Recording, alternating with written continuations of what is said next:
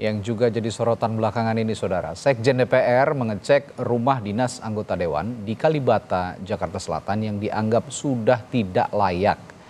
Inilah kondisi terkini rumah dinas anggota DPR di Kalibata, Jakarta Selatan.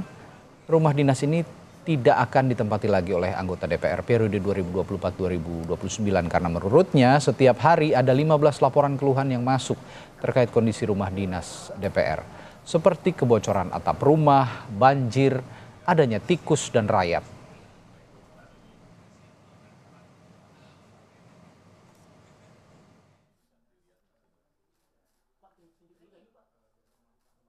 Kami punya aplikasi namanya Perjaka, perawatan rumah jabatan Kalibata.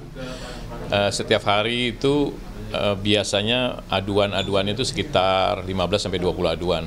Nah, tapi eh, rata-rata aduannya tuh berkisar mengenai bocor, uh, saluran yang tersumbat, kemudian banyaknya tikus dan rayap yang nggak yang nggak bisa dikendalikan. Walaupun kita selalu rutin dengan rayap, tapi karena ini dulu bekas pohon karet, jadi rayapnya itu ada terus ya.